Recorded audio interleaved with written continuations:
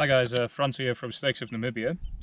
Um, what we have over here today is what we call a spotted bush snake. Philothamnus semivariegatus is the Latin name.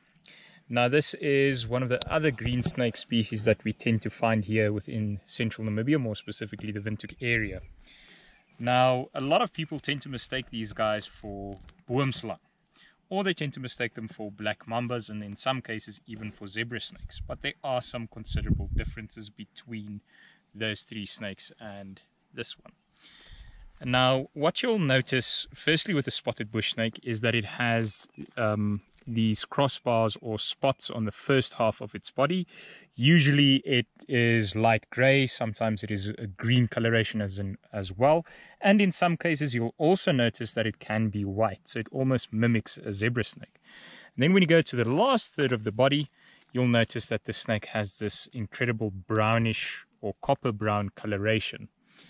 Now, if you look at the head shape of a of a spotted bush snake, you'll notice that um, you'll notice that the head is spear shaped and I don't know whether you would be able to see it on this video but the iris of the eye is a golden yellow color. Another key characteristic of identifying this particular snake is the fact that it has this very pretty blue tongue.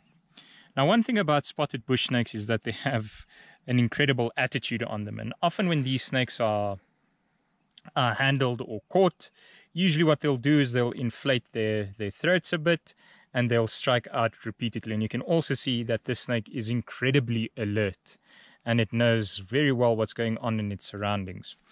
Now, where would you usually find them? Typically in small little shrubs and bushes like this in the back. Uh, usually around gardens that you'll tend to find them hunting on the walls and stuff.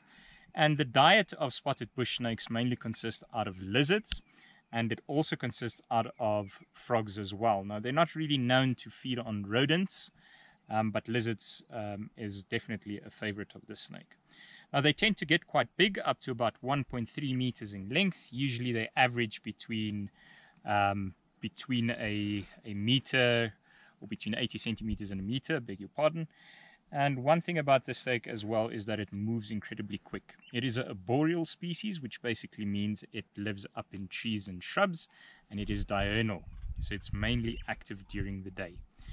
Now, if you differentiate between this snake and a boomslang, you'll notice that boomslang usually tend to have much larger eyes and they're a single color. Either it's going, it's going to be brown or it's going to be green. And if you're looking at the black mamba, for example, they typically tend to be a light gray coloration or a dark gunmetal gray color.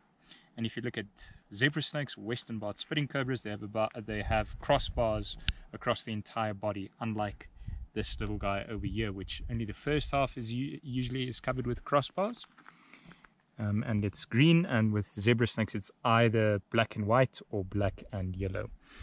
So this guy is rearing to go and you'll see how quickly or how well he's going to climb. So look at the strength.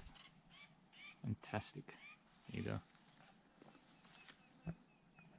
And off he goes.